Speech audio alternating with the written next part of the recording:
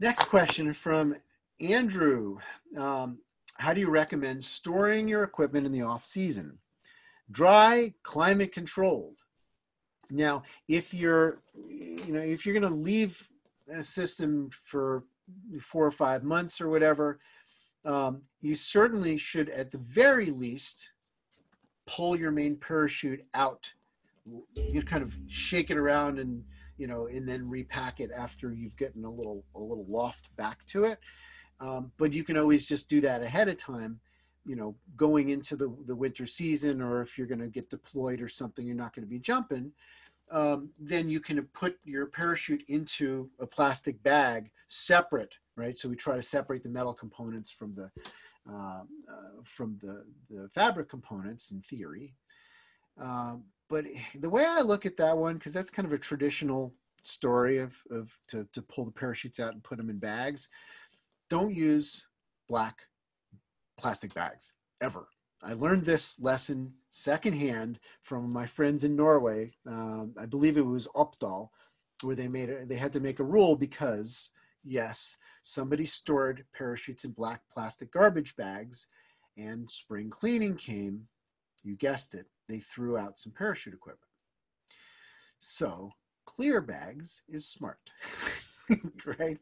Um, but here's the other thing is if you store your parachute in bags, it's not inside the protection of the container. And so cats can pee on them. Happened to me once, right? Dogs can scratch them. You know, I mean, I had a parachute. I could show you. It's right here. my freaking puppy, my dog, chewed off my hacky sack, chewed it right off the pilot chute, and that was a packed rig. So, I mean, what would she have done if she had access to the whole thing? I don't know. Um, I should have put it in a closet. At that point, I was, you know, I just pulled it down and I was talking online, live online training thing, and I'm showing somebody this or that, and I put it down. I forgot all about it afterwards. And sure enough, she chewed the hacky sack right off. So separate your skydiving components from your animal components as much as you can. If there's a chance that it's going to flood in your basement, don't put it in the basement. If it's going to get really, really hot, don't put it there, right? Heat will, will destroy your rubber bands, right? But always after a long break, you know, if that parachute's been sitting in there, pull the pull the main out and let it, you know, spread out. And obviously, if your reserve's been sitting in there for five or six months, it's compressed. It's a brick and it's not going to open as quickly. That's what riggers are for. That's why you should become a rigger, right? So you don't have second thoughts about this stuff and you go, eh, you know, I'm just going to pull that reserve out and repack it. Why not? You know, if you don't feel good about it. I just got a parachute back in the mail that uh, obviously hasn't been jumped in a while, and I want to use this as an example of why uh, you need to repack your parachute in the springtime. if you haven't jumped it on, this is not in a bag, right?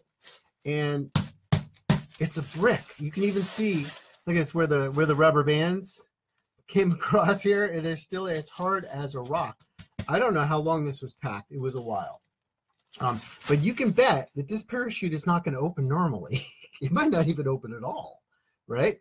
So um, all I can say is, if you haven't packed in a long time, this is what you're doing. Look, I mean, it's a brick. I have to pry it apart. right? So, you know, if, if safety is your goal, then laziness is your enemy. Pull it out and put it in a bin, right? So that the parachute is actually out. And if you got metal components, you separate the metal components from the nylon components, ideally, ideally, um, and you know just leave it open and free. What